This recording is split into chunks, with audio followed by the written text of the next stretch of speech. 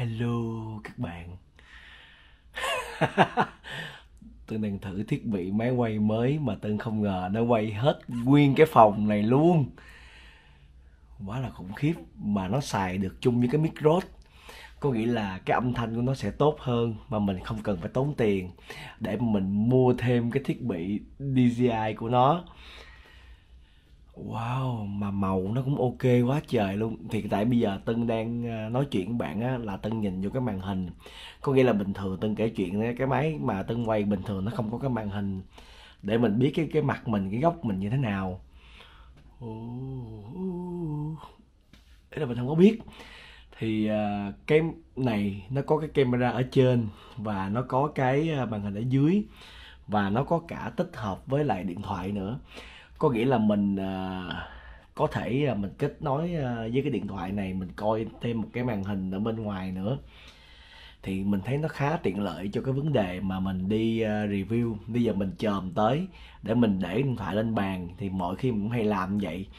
Thì cái uh, máy bình thường nó sẽ không có uh, lấy được cái hình của mình nè. Chồm tới.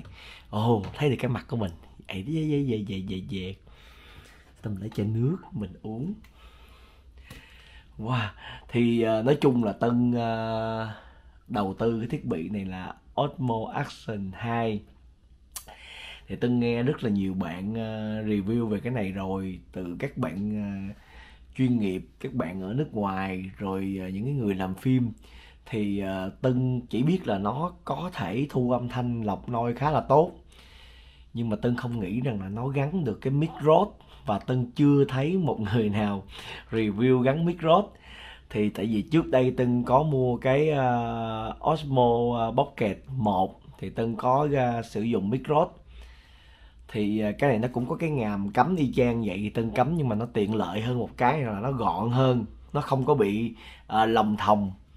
Thì ngày mai Tân lắp lên xe Tân quay thử coi thế nào mà Tân thấy trước mắt là ok đó. Thấy ok. Và tân cái pin này tân nghe nói là cả hai cái tích hợp lại đó là quay được 180 phút nha các bạn. Quan trọng là cái cạc của mình nó có ok hay không tân thấy góc này giống như mình đang đóng phim ma thái vậy căn phòng ma của thái. À, ta ta. À, ta ta ta ta ta. Không biết mà có nghe rõ không? Thấy hơi bị thích đó nha. Thì tân cũng lấy cái đèn màu xanh bên này tân đánh cho nó xanh cái phòng cũng như bình thường. Rồi một cái đèn vàng setup up ờ, một cái đèn trắng bên này là ba cây đèn để coi như thế nào. Thì khi mà mình đi review tâm linh á thì mình muốn uh, nó có nhiều cái uh, góc quay nó đặc biệt hơn góc rộng hơn. Và cái máy này á, nó dành theo chế độ là cục hít.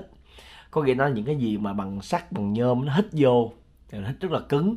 Thì mình quay được những cái góc quay mà mình xe mình bo hay là xe mình chạy để mà có những cảnh sệt rồi quay những cái cảnh đẹp trên đường mình đi. Rồi ờ, mình vô những nhà xưởng mình đặt thì uh, hiện tại cái tân nhìn thấy ở camera này là quay ban đêm khá tệ. Quay ban đêm rất là tệ mà quay đủ sáng đèn đốm này kia nó rất là ngon lành. Thì trước mắt mình đang nhìn trong monitor mình thấy vậy. Nhưng mà mình đang quay trên chế độ cái lock à, cái đi line đó đi lóc gì của nó đó. Thì chút nữa mình ra mình mới uh, bỏ màu vô mình mới biết được là nó đẹp hay không da vẽ mình như thế nào.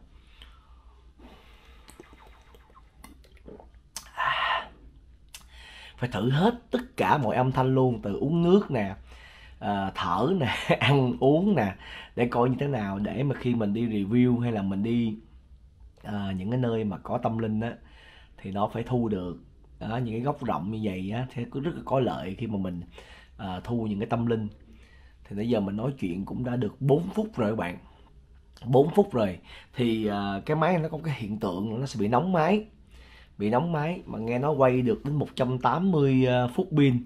Còn nếu mà gỡ ra lấy cái cục ở trên thôi đó thì nó quay được đâu đó là 70 phút là trên dự tính của cái, cái tờ mà mình mua nó báo đó và nó có thể quay dưới nước được. Nhưng mà nếu mà gắn cái cục monitor là cái màn màn hình mà tân đang nhìn nè, thì là nó không có chống nước, nó chỉ chống nước cái cục quay thôi.